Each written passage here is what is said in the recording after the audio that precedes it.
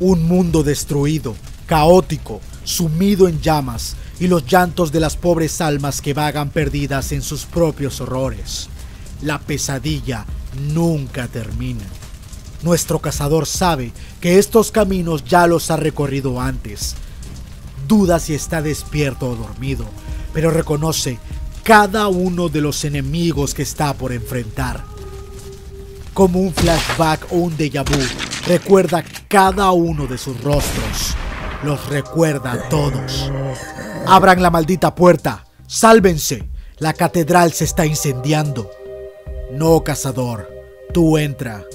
Tu destino no te esperará para siempre. Bienvenido de regreso, amigo. Pero, ¿qué está pasando? No hay tiempo para explicaciones. Sígueme. Ellos estarán aquí antes de lo esperado. No quiero asesinarlos. Solo están infectados. No son verdaderos monstruos.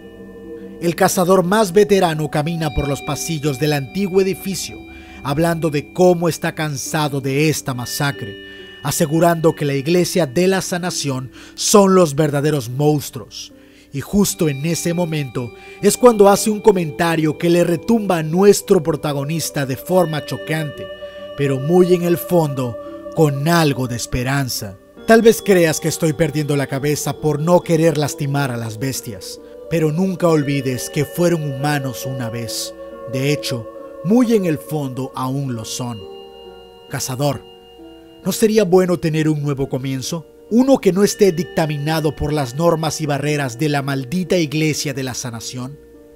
Al abrir la última puerta ante sus ojos, un pequeño bastante desnutrido y lleno de cicatrices parece estar esperando por él.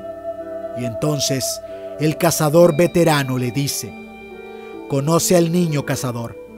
Creo que esto es lo que estabas buscando. ¿De qué hablas? No estoy buscando un niño. Estás buscando un sangre pálida para al fin trascender de la cacería, ¿o no? Enséñale, chico. En ese instante, el pequeño toma su dedo y con su uña afilada corta una herida en su piel, y es cuando brota una sangre blanca como la nieve, y nuestro protagonista sabe que al fin lo ha encontrado. El veterano se despide del pequeño, como si ya existiera una amistad muy familiar. Y le explica a nuestro protagonista que deben abandonar Yarnam y hacer lo que tengan que hacer para llegar a su destino. Y justo cuando terminaba de dar explicaciones, las puertas han sido derribadas.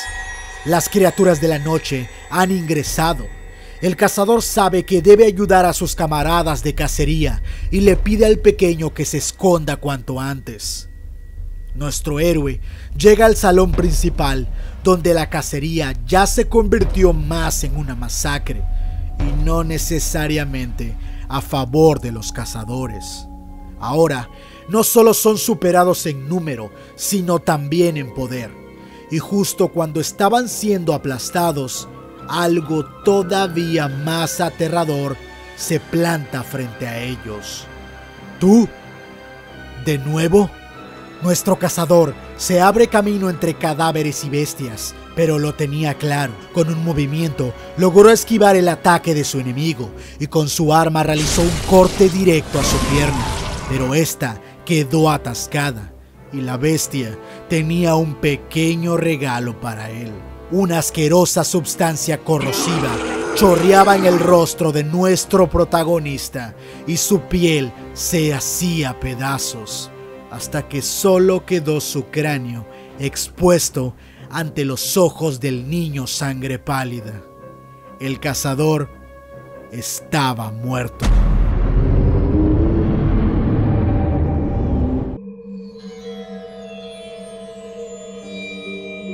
Al abrir sus ojos, una mujer de cabello blanco y rostro carente de sentimientos le daba la bienvenida.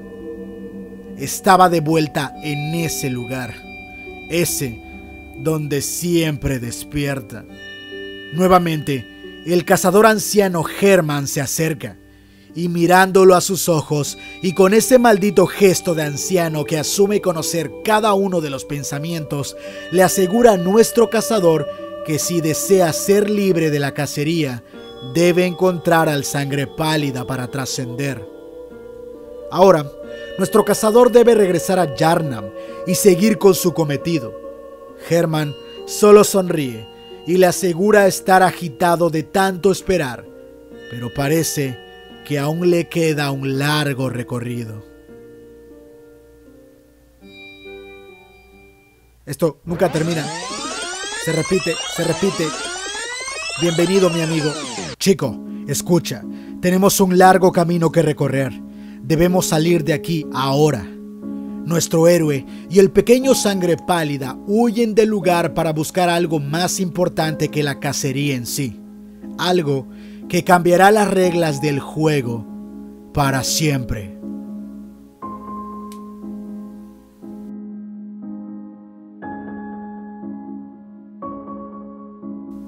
¿Qué sucede, chico? Debemos apurarnos. Camina. El pequeño sangre pálida parecía mirar hacia el horizonte y fue cuando recordé que la iglesia estaba en llamas, que los cazadores ya deberían estar muertos en este punto. Los recuerdos atacaron mi mente y pude recordar un lugar perdido entre mundos, niños arrojados al fuego, juramentos de sangre y a Yarnam pulverizado entre las llamas.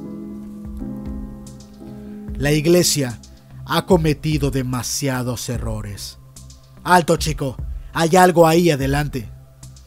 Otro pobre inocente transformado en una criatura horrible que probablemente reflejaba su verdadero rostro en vida. El cazador tomó su arma y lo despedazó por la mitad. La sangre corría por todos lados, pero no había representado mayor problema, y fue cuando el pequeño señaló a mis espaldas. Un cazador debe cazar. Esas fueron las primeras palabras que Herman me dijo. La criatura tenía decenas de cabezas y todas me atacaban al mismo tiempo. Mientras me defendía, una maldita voz me hablaba al oído y ni siquiera podía recordar quién soy. ¿Los cazadores son asesinos? ¿Es que acaso ser un asesino es todo lo que soy? El ácido de la bestia rozó parte de mi rostro y la criatura realizó un ataque al instante. Era el fin nuevamente. No, soy un cazador y los cazadores somos asesinos, asesinos y nada más. Con la bestia al fin sometida, nuestros héroes siguieron su camino, pero los flashbacks y los tormentosos recuerdos le acosaban a cada paso. No sé en qué momento encontramos dónde quedarnos. No sé en qué momento me desvanecí. Una voz que parecía recordar curaba mis heridas. Te repondrás muy pronto. Te prometo que estoy usando mi mejor sangre para sanar tus heridas. Y perdona por mi curiosidad. Si te soy honesta, aún no sé si eres hombre o mujer. Soy un cazador. Hola, Yosefka. ¿Cuánto tiempo sin verte? Parecían estar a salvo. Al pequeño sangre pálida también le estaban tratando sus heridas pero Yosefka mencionó algo de la maldición de la bestia y aseguraba que yo era un tonto por estar ahí. Le agradecí por su hospitalidad y la ayuda médica, pero sabía que teníamos que seguir caminando. Ella aseguró que no lo hacía por mí, sino por el chico. Antes de irnos, le pedí que cuidara al niño tan solo unos momentos. Debía comunicarme con Herman lo antes posible. Tenía que preguntárselo. Tenía que saberlo. La respuesta solo la tenía ese maldito viejo. Pero parecía que solo jugaba con mis pensamientos. Herman, ¿quién es ese chico? ¿Acaso por medio de él podré trascender de este sueño? Tal vez, cazador pero eso tendrás que descubrirlo tú mismo. Dímelo, cuánto tiempo he estado aquí. No tanto como yo, cazador. No tanto como yo. Este sueño es una maldita pesadilla. Pero incluso en las pesadillas, los actos de bondad deberían servir para algo. Logarius una vez me dijo, los actos de bondad no siempre son sabios y los actos de maldad no siempre son tontos. Sin embargo, siempre debemos buscar el camino del bien. Ahora vete, cazador. No pierdas el tiempo. Sé que buscarás a la muñeca para hacerle preguntas. Ella no tiene las respuestas que estás buscando. Vete ahora, antes de que la presencia nos escuche. Ambos guerreros nos despedimos a nuestra forma y regresé por el chico. Pero tal vez tomarme un minuto de descanso fue una total equivocación. Cazador, cazador, ven aquí, escóndete.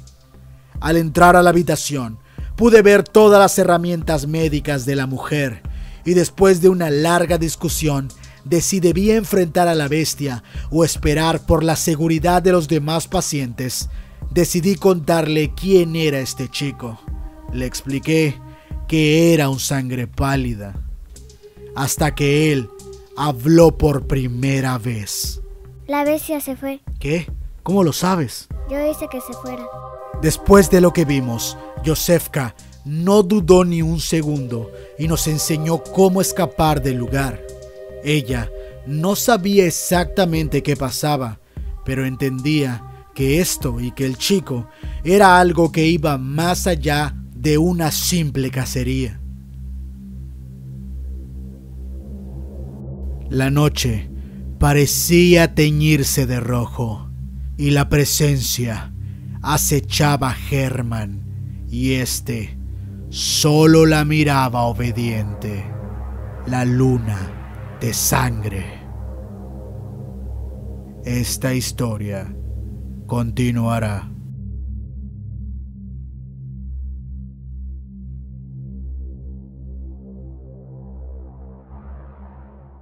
Quiero agradecer a todos los creyentes, maestros cultistas y ascendidos que sin su apoyo no hubiésemos podido terminar este video. Gracias por todo el gran apoyo de Robal Torres, Gustavo Hernández, Juan Pablo Aguirre y Necro55. Gracias por apoyar el canal, creer en el proyecto de Cthulhu TV y ayudarnos a seguir mejorando. Eso fue todo por hoy, banda. Espero les haya gustado. Si quieren topar la siguiente continuación de este cómic de Bloodborne, la haremos cuando este video llegue a los 3500 likes.